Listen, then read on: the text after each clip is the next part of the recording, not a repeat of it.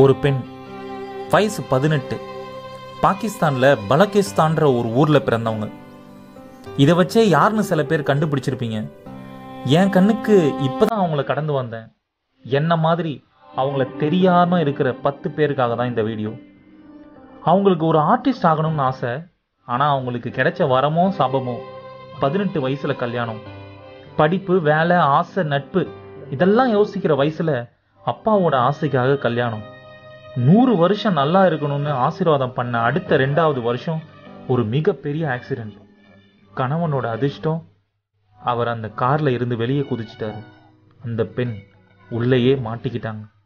உடம்புல இருக்க எலும்பெல்லாம் நொறுங்கி வலியால கடைசி மூச்சு இதான்னு போராடும் போது டேய் இந்த பெண்ணுக்கு உசுறு இருக்குடான்னு ரெண்டு பேர் அவங்கள நோக்கி வந்தாங்க. அது கிராமன்றனால ஹாஸ்பிட்டல் ரொம்ப தூரம். அதனால எலும்பு நொறுங்கிய அந்த உடஞ்சி போன பெண்ணை ஜீப்ல தூக்கி போட்டாங்க. வாழ்க்கையில மறக்க முடியாத ரைடுன்னு அதை சொல்றாங்க. சில சர்ஜரிஸ் முடிஞ்சது டைட்டானியம் அவங்க கையிலையும் முதுகு தண்டிலையும் பொருத்தப்பட்டிருக்கு. அதனால தான் அவங்கள இரும்பு பெண்ணு சொல்றாங்க. அந்த டாக்டர் வந்து சில விஷயங்களை சொல்றாங்க. முதல் விஷயம் உங்க கையும் மணிக்கட்டும் நொறுங்கினால பெயிண்ட் பிரஷ்ஷை இனிமே உங்களால ஹோல்டு பண்ணவே முடியாது. ரெண்டாவது விஷயம் முதுகு ரொம்ப காயப்பட்டதால இனிமே உங்களால எழுந்திருக்கவும் முடியாது நடக்கவும் முடியாது. இதெல்லாம் பொறுமையா கேட்ட அந்த பெண் அடுத்து சொன்னதை தாங்க முடியல. மூணாவது விஷயம் இனிமே உங்களால ஒரு தாயாகவே முடியாது ஒரு குழந்தைய சுமக்க முடியாதுன்னு சொன்னாங்க. அதை கேட்டுட்டு வேதனையில அவங்க அம்மா கிட்ட அம்மா நான் இதுக்குமா இனிமே உயிரோட இருக்கணும்? எனக்கு ஏமா அப்படின்னு கேள்வி கேட்டாங்க. நாம் சொல்கிற வார்த்தைக்கு எவ்வளோ பவர் இருக்குன்னு அந்த நிமிஷம் அவங்களுக்கு புரிஞ்சுது. அவங்க அம்மா சொன்ன வார்த்தை இதுவும் கடந்து போகும். இதுக்கும் கடவுள் ஒரு காரணம் வச்சிருப்பாருமான்னு. என்ன காரணம்? அப்போ தெரியல. அவங்கள தொடர்ந்து போக வச்சது அந்த வார்த்தைகள் தான் நாம் எத்தனை பேர் அடுத்தவங்க கஷ்டங்களை கேட்டு கண்டுக்காம ஒரு வார்த்தை கூட சொல்லாம நம்மளுக்கு இப்படி ஆகலைல்ல அப்பா அப்படின்னு சொல்லி போயிருப்போம். Word as power spread positivity இதோட இந்த கதை முடியலை. இன்னமும் இருக்கு. ரெண்டு வருஷம் அதே பெட்டு அதே ரூமு தன்னோட கழிவுகளை கூட வெளியேற்ற எழுந்து போக முடியாத நிலைமை. எல்லா வேலையும் அவங்க அம்மா செய்யும் போது ஒரு பெண்ணா அவங்களுக்கு நாம ஏன் இங்க பாரமா இருக்கோம்? கஷ்டப்படுத்துறோமே. செத்துருக்கலாமோன்னு எத்தனை நாள் தோணியிருக்கும்? அந்த ஜன்னல்ல இருந்து வெளியே சுதந்திரமா குருவிகள் கொஞ்சிறத பார்த்து அந்த தோட்டத்துக்கு நாம போக மாட்டோமா? வெளிக்காத்த சுவாசிக்க மாட்டோமான்னு ஏக்கம். அந்த தலையணைக்கு மட்டும்தான் தெரியும். அவங்களோட வலியும் கண்ணீரும். அந்த ரெண்டரை வருஷத்துல அவங்களால பண்ணவே முடியாதுன்னு சொன்ன விஷயத்த பண்ணாங்க. ஆமாம் பெயிண்டிங் அவங்களோட முதல் டிராயிங் அந்த பெட்டில் தான்.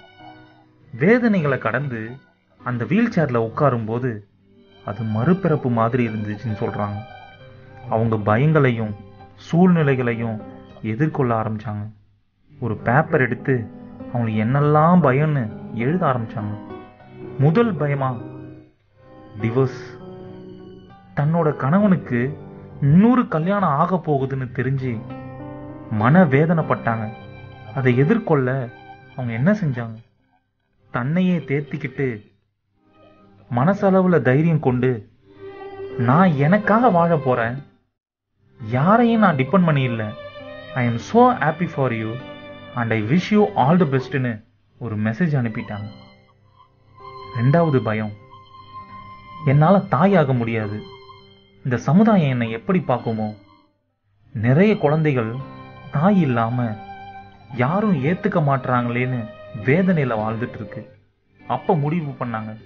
அப்படி ஒரு குழந்தைய தத்தெடுக்கணும் தத்தெடுத்தாங்க. அந்த பையன் பேர்.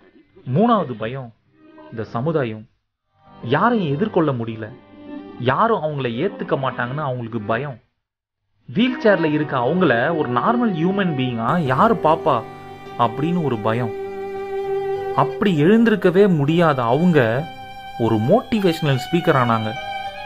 இப்போ அவங்க பேச்சை கேட்டு துவண்டு போன நிறைய பேர் எழுந்து நிற்கிறாங்க வெறும் ஆர்டிஸ்டா மட்டும் ஆகணும்னு நினைச்ச இவங்க இப்போ என்னவெல்லாம் இருக்காங்க? Amazing painter motivational speaker social activist beautiful model TV anchor UN women ambassador BBC அறிவிச்ச hundred inspirational women அதில் இவங்களும் இடம்பெற்றிருக்காங்க. சின்ன சின்ன விஷயங்களுக்கு துவண்டு போகிற நாம இவங்க வாழ்க்கையை படித்து கற்றுக்க வேண்டிய விஷயம். தோல்வி வெற்றி இது ரெண்டுமே ஆப்ஷனில் இருக்கணும். ஆனால் விட்டு விடு. தட் மீன்ஸ் கிவ் அப் இது மட்டும் ஆப்ஷனில் இருக்கவே கூடாது. நம்ம சூழ்நிலையும் கஷ்டங்களையும் பயத்தையும் பார்த்து ஒதுங்கிட வேணாம். நாம் உயிரோட இருக்கோம்னு நம்ம கிட்ட இருந்து நாலு பேருக்கு கொடுக்குற பாசிட்டிவிட்டி தான் சொல்லும். முடிஞ்ச அளவு நல்லதை பேசி அன்பை மட்டும் விதைப்போம். நம்மளுக்கு ஏதோ ஒன்று மோசமாக நடக்குதுன்னா அதுக்கான காரணம் கண்டிப்பாக இருக்கும். அதுலேருந்து எழுந்து வந்தால் மட்டும் போதும். இதுவும் கடந்து போகும். மந்திர சொல்.